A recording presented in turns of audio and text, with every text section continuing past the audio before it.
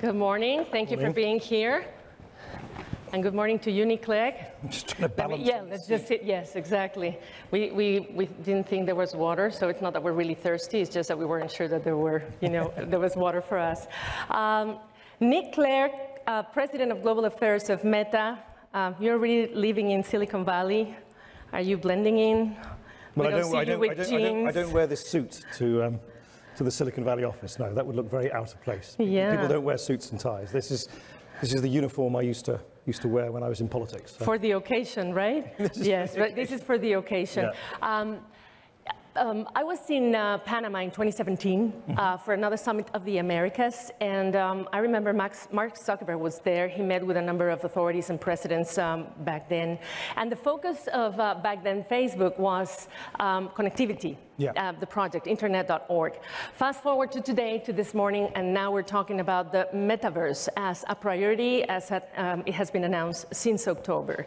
Um, what is exactly, because you also talk about um, the future, but not really because it's already here. Yeah. Um, so, so in, in one sense, the metaverse is also about, it's all about connecting people and it's all about how the internet is evolving to allow people to communicate with each other, to connect with each other in, in ever more um, direct and immersive ways. And if you think about the evolution of the internet, you know, we moved from from desktops to laptops, and now we all carry phones around constantly. Um, you know, we don't think we don't think that um, carrying phones in your hand is necessarily going to be the way that we interact with the digital world forever. We think it'll probably be something that you put on the bridge of your nose, maybe with some computing power around your wrist. Um, and if you, so that sort of the hardware is developed in that direction. But if you think also about the, the, the form of communication, we used to communicate by text, and then we moved to photos and videos. Now short form videos are very much the sort of, you know, most sort of um, fast growing format. About 50% of content on, on Facebook is now short form video. The, the, the metaverse, in other words, augmented and virtual reality technologies, they offer us the opportunities to do the next logical thing, which is to communicate with each other as if we really feel we are in each other's presence. And by the way, if this sounds like science fiction, I mean, I, I already, for about a year, Yes. have been holding my weekly meeting of my team in the metaverse. We wear our Quest headsets. I have my team distributed around the world, and we sit around a virtual table. And it really is remarkable. I mean, you, of course, you are an avatar. You look like a sort of cartoon representation of yourself. But you really do feel that you're breathing the same air as the, uh, as the people you're sitting around that virtual table with, um, partly because the audio technology is incredibly sophisticated. So it's, it's how can I put it? It's both, it both sounds somewhat revolutionary, but it's actually a relatively natural evolution of where the in- internet has come from over the last couple of decades. So it's uh, more sense of presence Yeah. through avatars. Yeah, well, avatars, and then, uh, and then eventually, of course, holograms. So eventually, over the next 10, 15 years or so on, the ambition is that instead of having this conversation sitting next to each other in these somewhat wobbly uh, chairs, um, that's a small memo to the uh, organisers here, um, you, need, you need a fine sense of balance to do this. Um, uh, uh, we would be able to, um, we would be able to meet in the metaverse as holograms with, you know, of each other, and we would, f- we would be able to play chess, we'd be able to uh, just, you know, kind of, we could be able to, we'd be able to play board games, we'd be able to go together to see uh, a debate or a concert or in another part of the metaverse. Um, and this sounds very futuristic, but if for anyone who hasn't tried it, I would strongly recommend just try, you know, in, in our case, I mean, Microsoft or Google, everyone's got their own different products. We've got something called Horizon Worlds. Yes. You can you know, use a, a Quest headset to enter into the Horizon worlds. And it's, it's, it's, of course, we will look back on it in 10 years' time as being somewhat primitive at the moment, that we're all bobbing around in the metaverse as sort of cartoon avatars of each other without just with, from the waist up. Yes. You don't have legs yet in the metaverse. But it does, I think for anyone who hasn't tried it, I would urge you to try it because it is remarkable how quickly it is easy to imagine that this will open up huge opportunities socially, culturally, economically. Just think about the potential for education. It means that teachers will be able to take kids from a school here in Los Angeles to walk the virtual streets of ancient Rome to teach a class of 12-year-olds what the ancient, you know, what ancient Rome was like. That, I, you know, I think the, I think the, uh, the potential is enormous. You said, um, I urge you to try it. Has anybody here tried it? Um, can you help me raising your hand? You have tried it over there? Amazing. Okay. How do you like it? Do you like it? Yes? You see? Okay, yeah. So, so we have people who know about what, what, we're talking about. And it's important because you're developing that platform. It's, it's in the works. And it's not only Horizon Worlds, it would also be Horizon Workrooms, um, yeah. since we're talking to CEOs and, you know, yeah. and businessmen, the business people. So, yeah, so, so Horizon Workrooms is our product which allows people to, to organize meetings. As the name describes, workrooms. Yeah. Um, and as I say, I, have um, I've been doing that for some time now, and it's remarkable how quickly the technology has developed. Uh, about a year ago or so, when I first started using it, sometimes it was a slightly disorientating feeling. Uh, but now the avatars have become ever more granular, their expressions have become ever more um, realistic, mm-hmm. um, and the audio technology is quite unusual.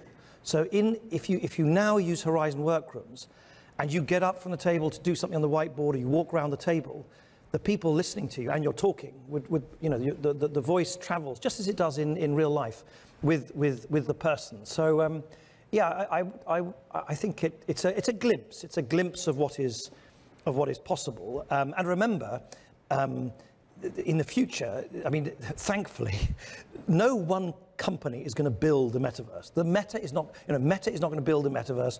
Mark Zuckerberg is not going to be the emperor of the metaverse. Um, it's going to be, it's much more like the internet. It'll be, you know, no one company owns the internet. Yeah.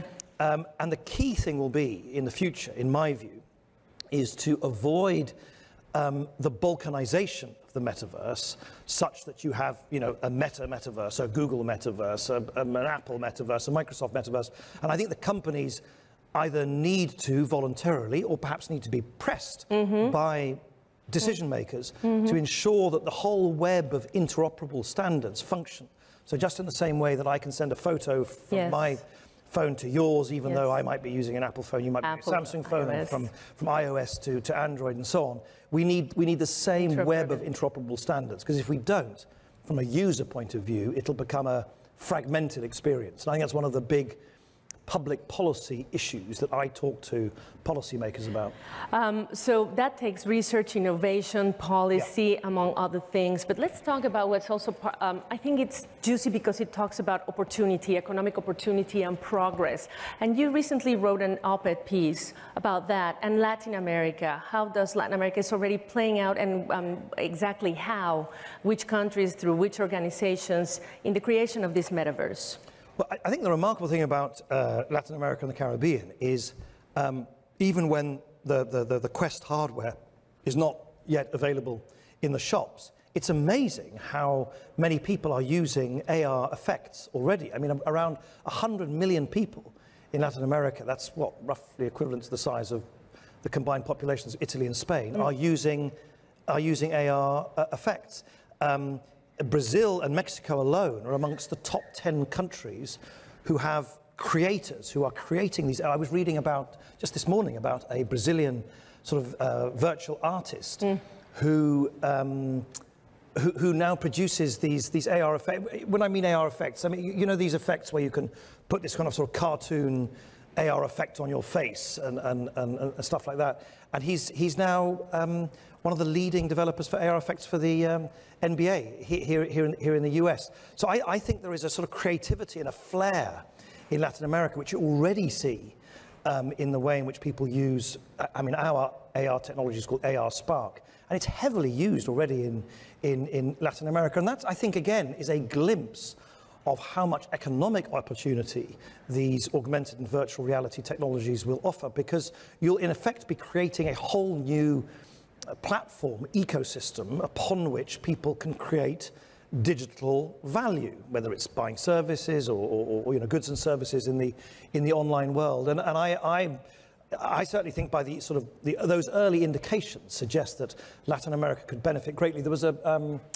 an independent uh, research group. I mean, we commissioned it. I, th- mm-hmm. I think they're called um, Analysis Group. I, I, I, might need to check the name of the, the, the, the research group. But they recently estimated that they believe over the next 10 years the metaverse could bring a 5% uh, improvement to Latin America's GDP if these, if these online digital opportunities really do materialize. So I think the potential uh, for, for the region, for the Latin American region, really is uh, really very considerable. And you also mentioned um, the potential use for it, uh, learning, Yeah. trade, Yeah. um, medicine. I mean, telemedicine, I think it's a key issue, especially in, in a continent where we don't have trains like in Europe. I mean, where really rural areas probably benefit.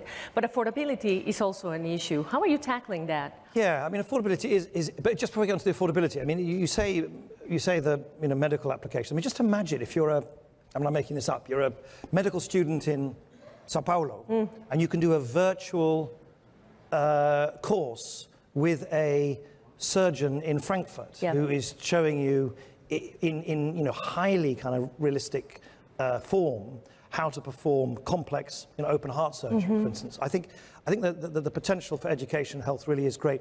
But in terms of the accessibility, yeah, look, let, let's be honest about this. The moment you have anything to do with hardware, there is a there is a barrier, and the barrier is the cost of the hardware. I mean, look at you know lots of the fancy phones that everybody's you know got in their pockets or their hands now. You know, they still co- cost a lot, and they're not accessible to many people around the world. So we we really are trying to do two things to address that. Firstly, to keep the cost of the hardware down as much as possible.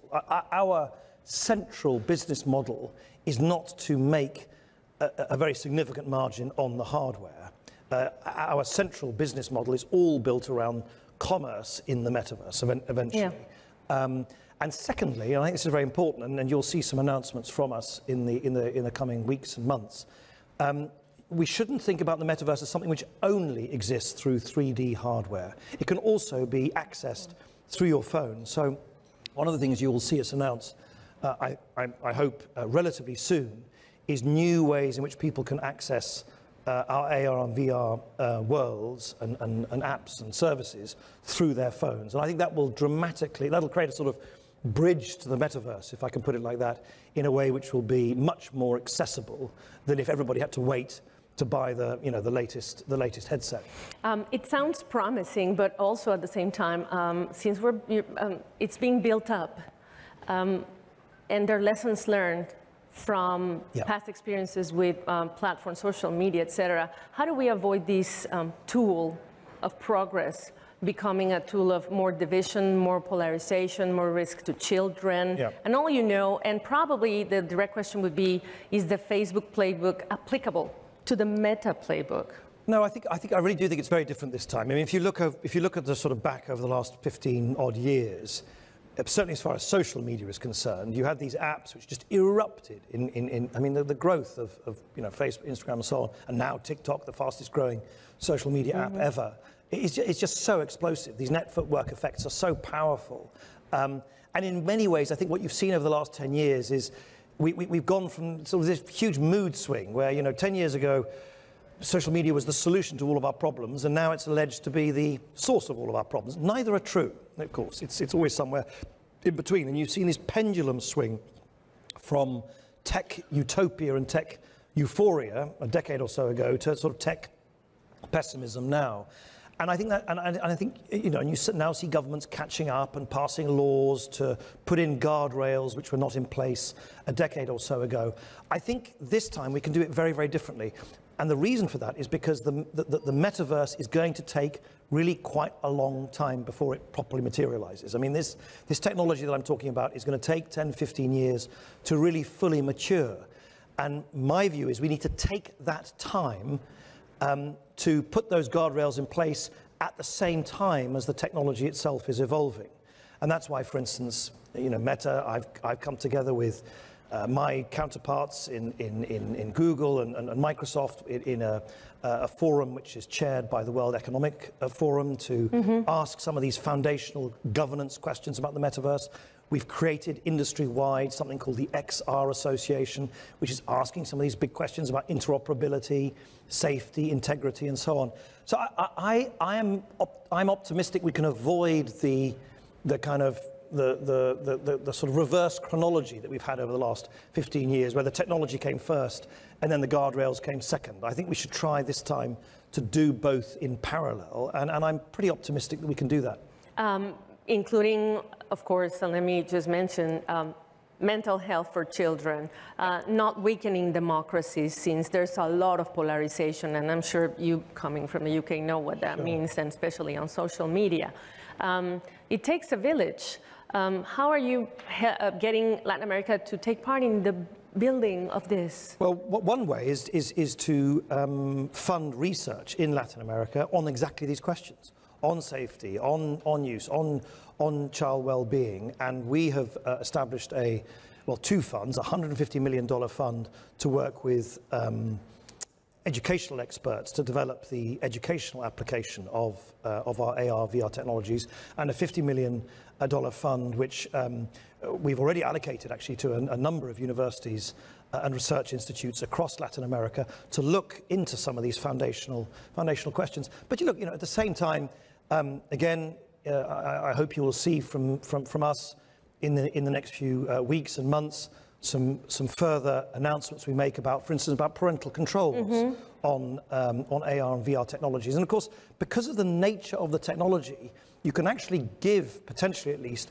parents a great deal of real-time visibility to what their kids are doing, much more so than, than necessarily what kids do when they post things on, on, on social media. So the, the immediacy of communication in the metaverse also offers opportunities when it comes to protection and safety and so on. Um, you know, if you, are, if you feel you're in an uncomfortable position in the metaverse, or you feel you encounter someone who's saying things you don't like, you literally just leave. I mean, you can just literally, with a, in a, in a, in a millisecond, you can literally just ab abstract yourself from that, from that situation.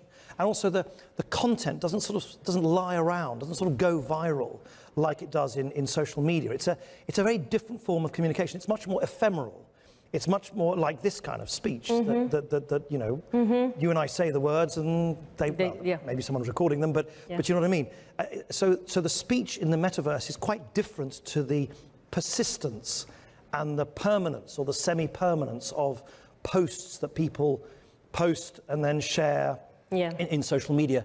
And that, I think, means that we need to think about how you moderate that content or, or, or, or, or seek to try and um, you know, check what people are doing in a very different way. I, I, think, in other words, I think the analogy with social media is actually in many ways potentially quite unhelpful because mm-hmm. it's quite a different form of communication.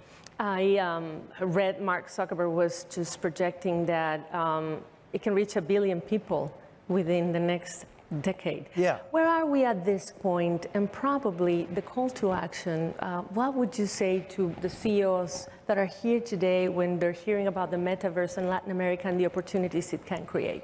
Well, I, I think my message would be um, it, it's an enormous opportunity. It's very exciting. It's, um, it has applications which are commercial, which are societal, uh, in health, in education, in how you uh, run your companies, how you uh, organize the workplace, but also how you think in, in future in terms of the goods and services that your companies provide. The metaverse is in a sense a bit like it's just it's a new computing platform. That's the way to think about it. It's a it's literally the next generation of the internet. And in the same way that everybody's businesses and everybody's work life has been affected by the current internet it will be by augmented and virtual reality technologies as well. So if you haven't try it out and take some time and, and work out how you think it might affect your work in, in the years to come. And that implies probably rules and standards, even for companies yeah. when they're using it, no? Yeah, of course. And, and you know, we have our rules and standards. Uh, societal rules and standards will develop as well. Industry-wide rules and standards will evolve as well. Um, and I think we need to, we all need to kind of operate with a mixture of excitement about the potential of the technology and humility that we don't have all the answers yeah. yet. And we should be open about that, that this is a journey, we're in the early stages of the journey, and we need to work together, civil society, academia, regulators, lawmakers, governments, industry, to work out what the rules of the road will be for this new computing platform. Well, I guess I'll see you on the metaverse next time. Yep. I'm probably more Silicon Valley looking like and less of a suit looking. Thank you so much. Thank you. Thank you, and thank you. Thank you.